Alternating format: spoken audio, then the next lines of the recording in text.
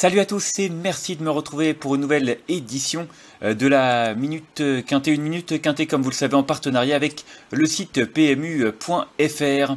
On va parler du Quintet Plus euh, de ce jeudi 7 euh, juillet 2022 qui aura lieu sur l'hippodrome de Paris-Longchamp. Comme vous le voyez, ce sera la première réunion avec une euh, semi-nocturne intéressante qui nous attend. Ce sera la sixième course du programme, le prix euh, du petit prêt qui sera support euh, de tiercé, écarté et quinté plus. C'est un handicap, hein, bien entendu, comme assez souvent, avec des poulains et des pouliches de 3 ans. 1850 mètres à parcourir sur la grande piste avec 16 concurrents au départ. C'est pas forcément évident. C'est un handicap qui n'est pas facile à déchiffrer. La moitié des concurrents au départ n'a jamais couru handicap. Du coup, assez difficile de se faire une idée. Voilà, c'est assez ouvert. Euh, on va mieux vous en, parler tout de suite. En tout cas, on va essayer de faire le détail euh, des candidatures qui me plaisent euh, le plus. On va rentrer dans le vif du sujet avec le numéro 2. Il s'agit de Sunfast. C'est un concurrent qui débute à ce niveau-là. Mais bon, comme vous le voyez à musique, déjà, il est très régulier. c'est déjà une bonne chose, c'est un bon point pour lui. il est muni de hier, comme lors de sa dernière sortie où il s'est très bien comporté sur l'hippodrome de Compiègne. Et puis il a des lignes favorables. Hein. J'ai regardé un petit peu contre qui il avait couru. J'ai vu une troisième place euh, derrière l'Astronome, un cheval de groupe 3, et Vagalam euh, qui a terminé cinquième euh, du prix du Jockey Club. donc voilà, certes, c'était une ligne perdante, mais il a été quand même battu par deux bons chevaux d'une grande qualité. Donc attention à ce numéro 2 Sunfast. Son entraîneur a l'air assez confiant. voilà, il le pense compétitif à cette valeur-là, donc pourquoi pas? je me dis que c'est l'une des nombreuses possibilités pour la victoire et je l'ai retenu en tête. Ensuite, en deuxième position, euh, j'ai retenu le numéro 3, Licorne, encore une concurrente euh, qui n'a jamais couru handicap et qui, comme euh, mon favori, ne s'est jamais imposée. Il n'a jamais franchi, elle n'a jamais franchi le poteau en tête. Maintenant, elle a montré de la qualité, hein, comme vous le voyez, elle reste sur deux deuxième place. Elle s'améliore au fil des sorties. L'avant-dernière fois, c'était vraiment bien du côté de Lyon, notamment. J'ai regardé les lignes. Elle a été battue par un cheval qui a couru l'Isted, je crois, en Allemagne. Et elle a également devancé Rondina, qui a couru en meilleur niveau. Euh, donc voilà, une ligne qui est quand même assez intéressante. Elle a un bon numéro euh, dans les stalles de départ avec ce numéro 4. Je pense que ça va vraiment être un avantage. Euh, Grégory Benoît qui sera en selle. je pense que ça fait partie également des concurrents qui ont une première chance à défendre. Ensuite, j'ai retenu le numéro 9, euh, Swift Spirit, qui sera certainement euh, l'une des favorites. Hein, Swift Spirit, euh, qui n'a couru que trois fois, mais qui vient d'ouvrir son palmarès du côté de Cran. Vous le voyez, c'est la Kazakh de l'écurie Godolphin. donc voilà, une Kazakh assez prestigieuse, qui est assez rare de retrouver au niveau des handicaps. On l'a muni de hier australienne pour la première fois. On fait appel à Michael Barzalona. Voilà, je pense qu'on essaie de mettre tous les atouts euh, de son côté pour vraiment très bien faire pour son premier handicap. En tout cas, euh, c'est une concurrente dont il faut réellement se méfier. Ensuite, en quatrième position, euh, j'ai retenu le numéro 15. Euh, il s'agit de Luman. Alors Luman, euh, pareil, rien à lui reprocher. Vous le voyez, est très régulier. La dernière fois, c'était une cinquième place dans un quintet. C'est l'un des rares concurrents à avoir déjà couru à ce niveau de compétition. il est régulier.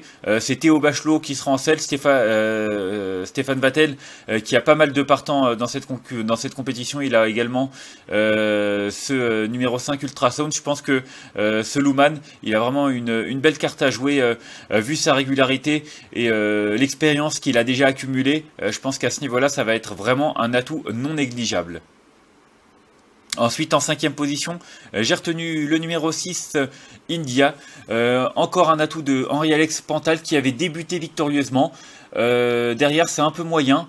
Euh, maintenant, c'était pas si mal que ça. Hein. La dernière fois, j'ai bien aimé sa, fin de course. Je pense que c'est une pouliche qui est perfectible. On fait appel à Maxime Guyon. Elle a un bon numéro euh, dans les stalles de départ également. ça va être un avantage.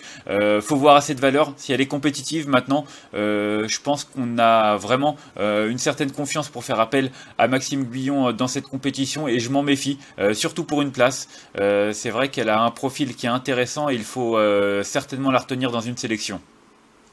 Ensuite, euh, j'ai retenu en sixième position le numéro 12, il s'agit euh, de Savoureuse. Elle, c'est un profil d'outsider qui me plaît tout particulièrement. Vous le voyez, elle a quand même pas mal couru. C'est pas beaucoup de régularité euh, quand vous voyez sa musique maintenant. Elle avait terminé deuxième d'un handicap le 1er mai sur l'hippodrome de Longchamp, montrant qu'elle était compétitive hein, à ce niveau-là. Je crois qu'elle a été baissée d'une livre suite à sa dernière sortie. On s'est vraiment évertué à lui apprendre son métier hein, avec Hugo Journiac. c'est Francis-Henri Graffard, hein, son entraîneur, et je m'en méfie. C'est vraiment un entraîneur de qualité. je pense que Savoureuse, avec les œillères, ça va certainement la motiver et elle sera sans doute plus à son affaire comme ça. Euh, numéro 7 dans les stades de départ, c'est vraiment pas mal. Euh, attention, attention à Savoureuse. Je pense vraiment euh, qu'on l'a bien préparé pour son premier gros handicap, son premier quintet. Et pourquoi pas, je pense qu'elle peut surprendre à Belcote. Ensuite, en septième position, euh, j'ai retenu le numéro 8, Red Crazy, euh, qui est régulier comme vous le voyez, il a surtout été vu à réclamer. Maintenant, lors de son retour dans les handicaps, la dernière fois c'était vraiment pas mal, il terminait sixième euh, d'un quintet plus. Il a vu sa valeur vraiment revue à la baisse hein, après avoir écumé les réclamés. Et là on fait appel à Christophe Soumi malheureusement. Il a le numéro 15 dans les stalles de départ, c'est pas forcément évident. maintenant, comme certains de ses, rivaux, il a de l'expérience. Il a sa compétitivité a une valeur qui a été revue à la baisse. Donc attention, si ça se passe bien avec ce numéro 15 et que Christophe Soumillon arrive à bien gérer euh, ce numéro un peu en dehors, euh, il est certainement capable d'aller accrocher une 4-5e place. Et enfin, en huitième position, euh, j'ai retenu le numéro 13, Gaylor Senora. Là aussi, c'est un outsider qui me plaît tout particulièrement. Euh, trois courses dans les jambes cette année, c'était vraiment pas mal hein, les deux dernières fois. Euh, surtout la dernière fois, c'était déjà au niveau des handicaps. Il n'a pas forcément été très chanceux dans la phase finale, mais il s'est bien relancé. Il a vraiment tracé une fin de course intéressante. je m'en méfie. Avec Aurélien Lemaître, ça peut être vraiment un, coup de poker intéressant ce Gaylor Senora. J'ai retenu en huitième position, mais honnêtement, s'il venait à prendre une 3-4e place, je ne serais pas surpris. Et enfin, en cas de non partant, euh, j'ai retenu euh, le numéro 5, euh, Ultrasound. C'est le deuxième pensionnaire de Stéphane Vattel, monté par Morgan, Morgan Delalande. Voilà, c'est un concurrent qui s'était imposé dès ses débuts. derrière, c'est moyen, mais c'est vrai que la dernière fois, il est quatrième dans un lot qui tenait la route. Donc attention avec ce numéro 2 dans les salles de départ. Pourquoi pas? Moi, je l'ai retenu en regret. Mais ceux qui font des champs réduits, n'hésitez pas à le glisser dans une sélection. On va faire un petit récapitulatif euh, de cette sélection justement avec le numéro 2 que j'ai retenu en tête devant le numéro 3, le 9, le 15, le 6, le 12, le 8 et le 13. Et en cas de non partant, le numéro 5. Vous le savez, nous sommes en partenariat avec le site euh, du PMU.fr. Vous avez de nombreux liens sur notre site turf-fr.com, euh, que ce soit pour euh, créer un nouveau compte avec jusqu'à 200 euros offerts et votre premier dépôt qui est doublé, ou alors tout simplement vous connecter sur votre compte PMU via notre site. Voilà, moi comme conseil de jeu, c'est vraiment ouvert. je pense que un, I-multi ou un I2 sur 4, c'est vraiment recommandé dans des courses euh, qui sont assez ouvertes. Euh, pour trouver un quintet ou un I-quarté ordre, c'est pas forcément évident parce que euh, il y a vraiment beaucoup de possibilités, que ce soit pour les premières places ou même les petites places. Donc voilà, moi je pense que 2 3, 9, 15, c'est euh, une bonne base de début, euh, que ce soit pour un I, 2 sur 4. Je pense que ça peut être 4 chevaux très intéressants qu'on peut faire en, flexi 50% ou alors en base de, multi, euh, en rajoutant peut-être quelques autres chevaux derrière. En tout cas, voilà pour mon conseil ce jeudi 7 juillet, première réunion. Ce sera la sixième course à 20h15, le prix du Petit Pré. On va parler du Quintet Plus de ce mardi, mardi 5 juillet. C'était sur l'hippodrome euh, de Vichy, hein, le prix Jean-Michel Bazir, avec les favoris qui se sont taillés la barre du lion, comme vous le voyez.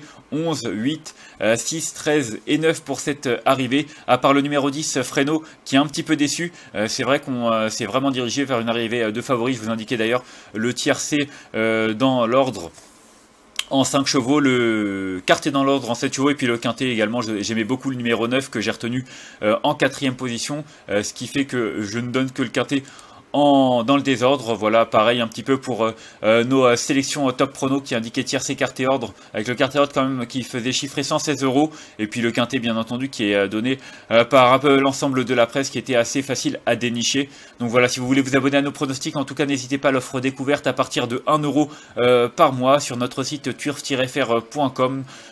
donc n'hésitez pas à venir tester nos différentes rubriques.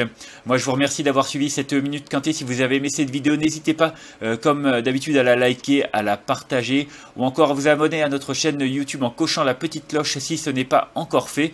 Vous pouvez également laisser votre pronostic en commentaire. Il y a un tirage au sort chaque mois avec l'ensemble des commentaires et 6 mois d'abonnement VIP au site turf-fr.com à gagner.